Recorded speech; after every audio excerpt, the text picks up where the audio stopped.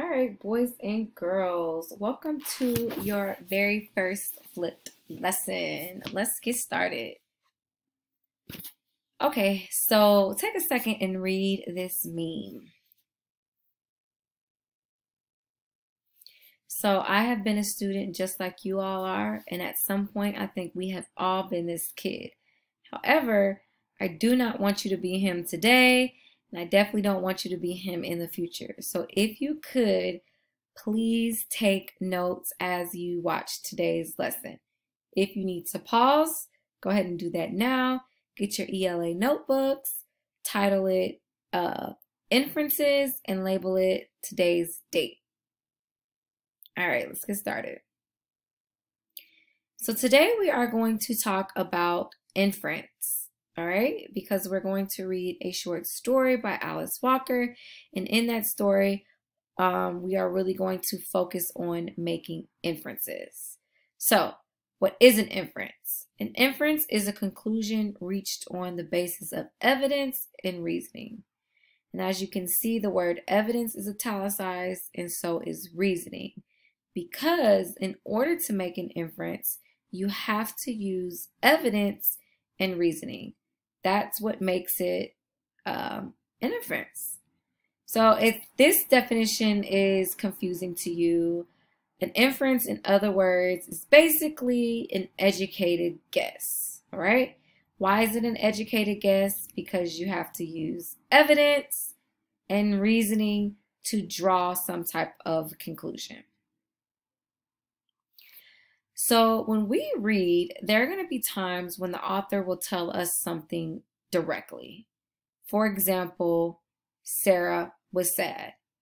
With this small sentence, we don't have to wonder if Sarah was sad. We don't have to wonder if she was happy. We don't have to wonder if she was mad because the author directly told us that she was sad.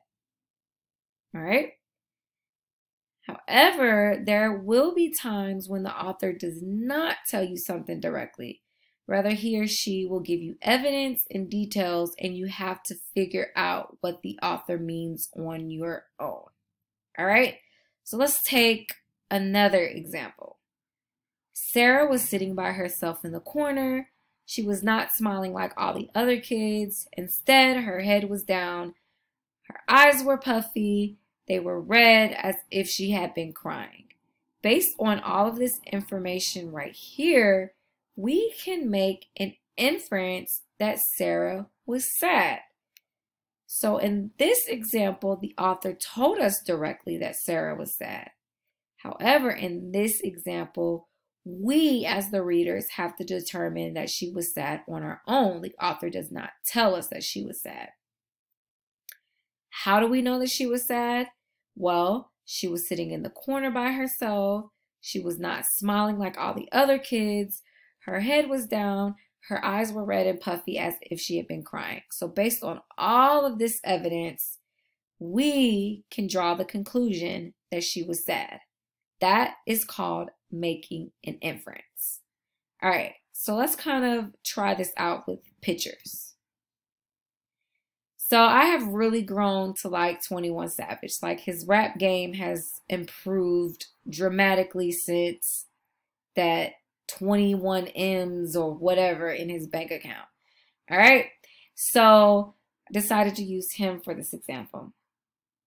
As I look at this picture, I notice that 21 Savage is smiling. Um, I see his gold teeth, which is like shining by the way. Um, his face looks soft. And what I mean by that is like there's no wrinkles. He's not, his face isn't scrunched up. You know, he doesn't look tense. He looks happy. And because of this, I can make the inference that he's in a good mood, that he's happy, that things are going well for him. Based on his facial expressions, um, based on the softness of his face, based on all of that information, I can make the inference that he's happy. Now, Let's look at this picture. Big difference, right? In this picture, I see that his face is scrunched up. There's something going on weird with his lips. Right here, his face is scrunched up. He just looks tense. Like even his shoulders are like a little bit more stiff. Whereas they look, I mean, you can't tell, but I can see from the shadow over here that he looks more relaxed. So based on this picture, I can make an inference that he's bothered. Something is, he's irritated, he's mad, he's frustrated, he's not in a good mood. All right. I made an inference. So that's basically what we're going to do when we read stories. We're going to use the evidence that the author gives us to draw some type of conclusion. All right, so all of you have um, your packets by Alice Walker. Go ahead and get those out. We are going to be reading a short story called The Flowers. All right, so I am going to read the first paragraph. Um, this packet is uh, each paragraph is labeled over here. So here you have one.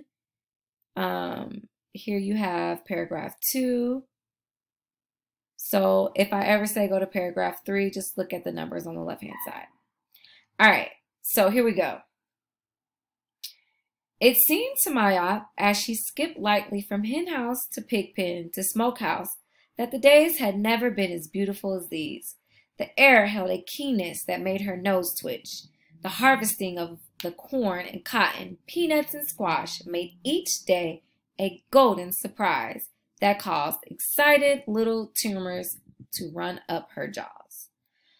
All right, so I'm going to go ahead and annotate this paragraph um, really quick. So I'm going to highlight the words skipped lightly. And I'm going to highlight the word beautiful.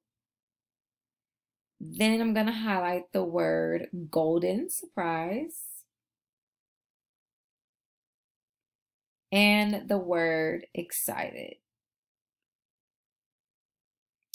So based on all of these words, skip lightly, beautiful, golden surprise, and excited, I, as the reader, can make the inference that Myop is probably happy, um, that she's enjoying being outside in nature, that, you know, the mood is really light. The mood is really pleasant at this point in the story.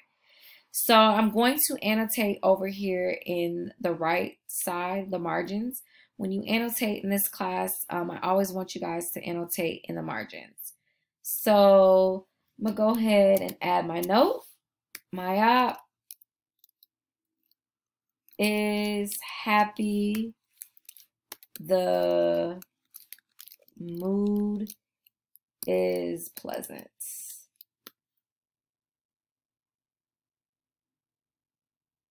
Okay. So this is just my little annotation over here in the right hand corner. What I want you guys to do is to continue to read this story and do exactly what I did. I want you all to look for words or look for phrases um, in hopes to make an inference. So I'm going to go ahead and I'm going to do the second paragraph as well. Myop carried a short, knobby stick. She struck out a random, she struck out random at chickens she liked and worked out the beat of a song on the fence around the pig pen. She felt light and in a and good in the warm sun. She was 10 and nothing existed for her but her song, the stick clutched in her dark brown bag, and the ta-da dee ta-ta-ta of accompaniment. So, this paragraph confirms the inference that I made in the first one. It says right here that she felt light and good in the warm sun. So once again, this confirms the inference that I made in this paragraph.